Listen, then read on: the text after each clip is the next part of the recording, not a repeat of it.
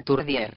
Aturdir a los adversarios significa actuar de tal forma que le impidáis mantener una mente tranquila. En la ciencia militar a gran escala esto significa que adivináis el estado de mente de vuestros enemigos y utilizáis el poder de vuestro conocimiento del arte de la guerra para manipular su atención, haciéndoles tener pensamientos confusos sobre lo que vais a hacer.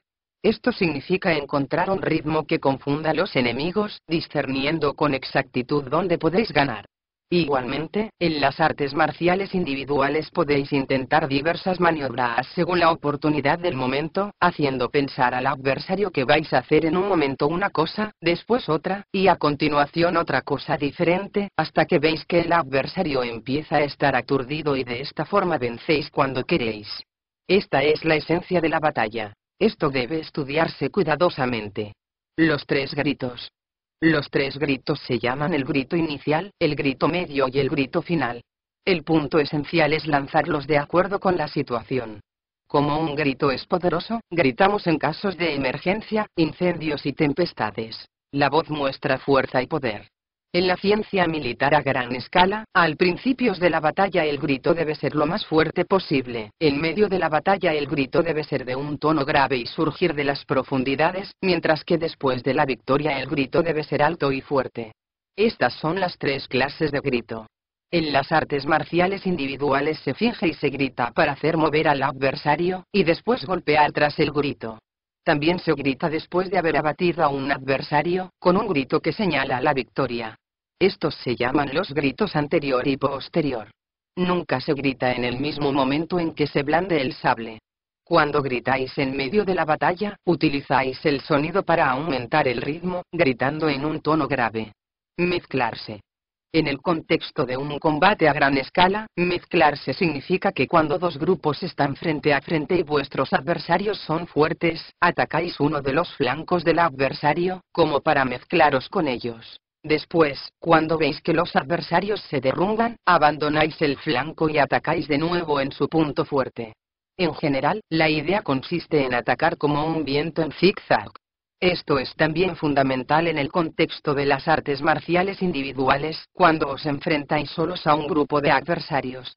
Cada vez que habéis acabado con uno o le habéis hecho huir, atacáis a uno que sea fuerte, encontrando el ritmo del adversario, haciendo un zigzag de izquierda a derecha a un ritmo adecuado y observando la situación del adversario, para que el ataque sea eficaz.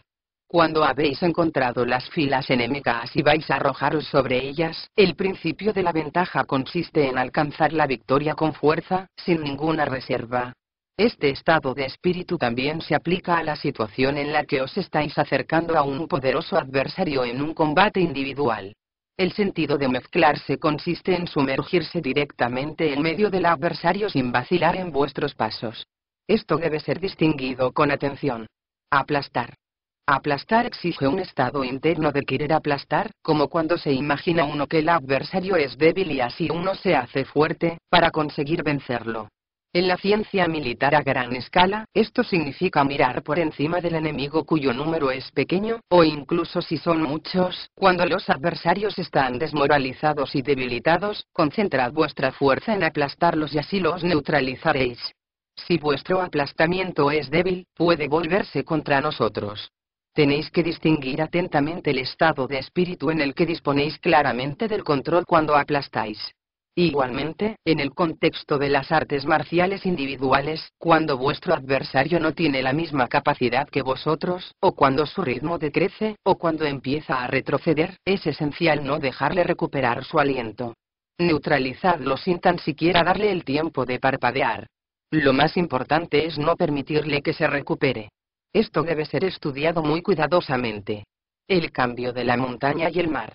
La montaña y el mar significa que es mala táctica hacer una y otra vez lo mismo. Tal vez tengáis que repetir algo alguna vez, pero no debe repetirse una tercera vez. Cuando intentáis alguna táctica sobre un adversario, si no funciona la primera vez, no obtendréis ningún beneficio precipitándoos a hacerla de nuevo. Cambiad vuestras tácticas de manera abrupta, haciendo algo completamente diferente. Si todavía esto no funciona, intentad alguna otra cosa. Así pues, la ciencia de las artes marciales implica la presencia del espíritu para actuar como el mar, cuando el enemigo es como una montaña, y actuar como una montaña, cuando el enemigo es como el mar. Esto exige una atenta reflexión. La desmoralización. Cuando luchéis con un adversario y estéis ganando gracias a vuestra habilidad en esta ciencia, vuestro adversario puede todavía hacerse ilusiones y, aunque parece que está vencido, por dentro todavía se niega a reconocer la victoria. Desmoralizadlo en estos casos. Esto significa cambiar vuestra actitud repentinamente para impedir que el enemigo siga manteniendo dichas ilusiones. Así lo principal es ver que los adversarios se sienten derrotados en el fondo de su corazón. Podéis desmoralizar a la gente con armas o con vuestro cuerpo o con vuestro espíritu. No debe ser entendido esto solo de una forma. Cuando vuestros enemigos se han desmoralizado totalmente, ya no les prestéis atención. Por lo demás, permaneced atentos. Mientras que los enemigos tengan ambiciones, difícilmente se desmoronarán. Tanto en las artes marciales a gran escala o a pequeña escala, la técnica de la desmoralización debe practicarse en profundidad. Renovarse. Cuando estáis combatiendo contra los enemigos, si tenéis la sensación de estar estancados y de no hacer ningún progreso, abandonad vuestro estado de ánimo y pensad en vuestro corazón que estáis empezando algo nuevo. Cuando conseguís el ritmo, ya sabéis cómo ganar. Esto es renovarse. En cualquier ocasión en que sintáis cómo aumenta la tensión y la fricción entre vosotros y los demás, si cambiáis vuestro estado de espíritu en ese mismo momento, podéis ganar por la ventaja de una diferencia radical.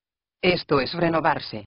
En la ciencia militar a gran escala es esencial entender la táctica de renovarse. Es algo que aparece de repente a lo largo del poder del conocimiento de las artes marciales. Reflexionad bien sobre esto. Pequeño y grande.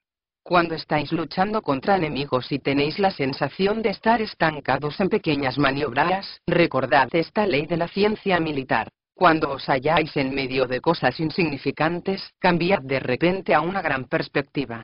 Cambiar a lo grande o a lo pequeño es una parte deliberada de la ciencia del arte de la guerra.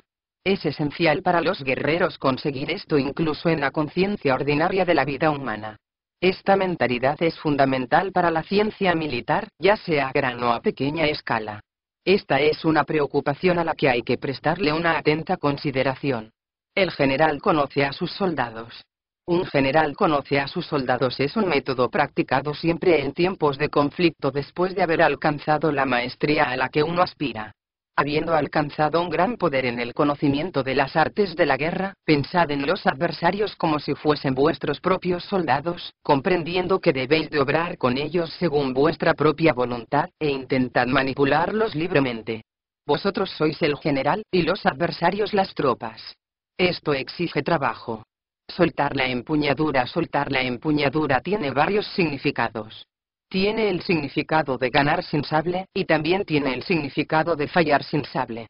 Los diversos significados no pueden escribirse, pero invitan a una práctica y a un entrenamiento profundos. Ser como un muro de piedra Ser como un muro de piedra es cuando un maestro de las artes marciales se hace de repente como un muro, absolutamente inaccesible a cualquier cosa e inamovible. Esto se transmite, verbalmente. Epílogo.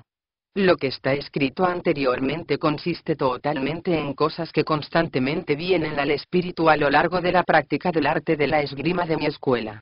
Como estoy escribiendo ahora estos principios por primera vez, están un poco mezclados en el orden, y es difícil definirlos con detalle.